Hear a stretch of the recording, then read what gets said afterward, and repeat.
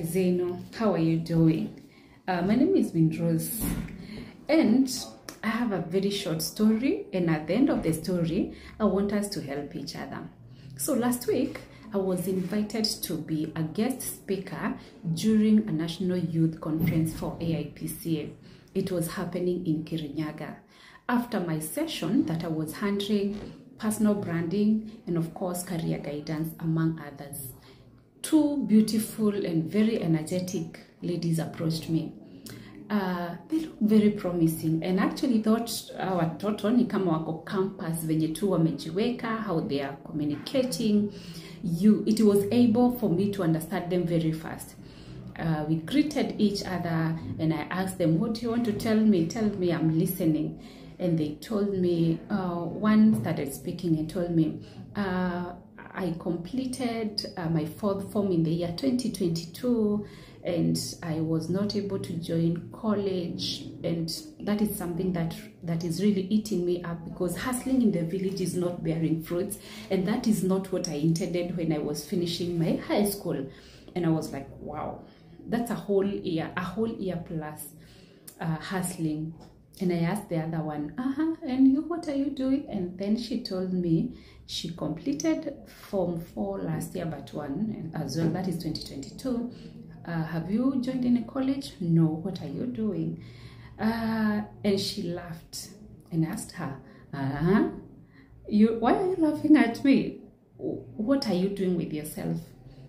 And she told me, hey, I am going to tell you direct to the point. My, my, me, my parents, my parents told me that I will get married, so they are not going to waste money with me. Why? Nothing. Which grade did you get? A. C plain. And then your, your parent, and I asked her, in specific, who told you that you'll get married? And she told me on my face that it's the mother. Her mother told, told her, actually, she told me, her mother told her in her language, in her French, niokahika diguitaga besha nawe. And then the other one told me that she has been hustling. The thing is, the reason why she's not in college, okay, she they anticipated they anticipated that she's going to get a C a C plus and above. To their shock, she got a D minus, really low. Well, low. However, she completed the fourth form.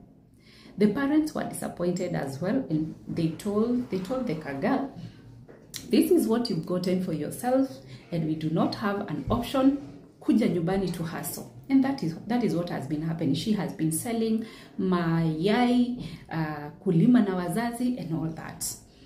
Uh, we really spoke, and I'm intending to come through for them. I am in communication.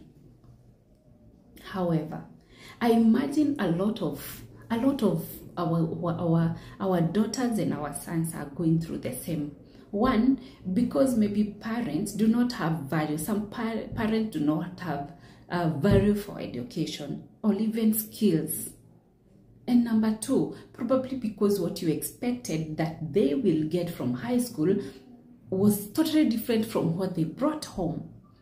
But my question is, does that make their life end there? If they did not get the grade that you wanted, does that make their life end there? Is that end of the story? Did, did you close the chapter of your 18 year old son or daughter because they did not get your desired grade?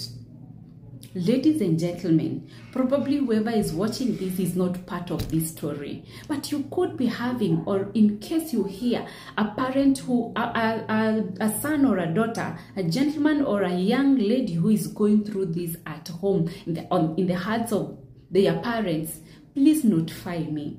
I believe I can be able to convince these parents to make sure that they go to school, they join colleges, they get themselves skills that will help them either to get a job or better still, employ themselves. Hii kuhaso ati haukupata yenye tulitarajia enda ukahaso, hii utaolewa wa mama. Aciari aitu tugutura tumuriragira wona twahika. Tafadhali rekei mahe skills. Ya merita tu, ya meri ĩtandatũ ya mwaka ũmwe na nä na matigũtũra ng'ong'o-inĩ waku. If you don't help them at this stage no matter what is happening with them i'm telling you they will remain to be children and they will remain on your shoulders for the rest of their life. Please do something. Help them to get off your shoulders so that you can be able even to relax and take care of their siblings. Asanteni sana. Ni hayo tu kwa sasa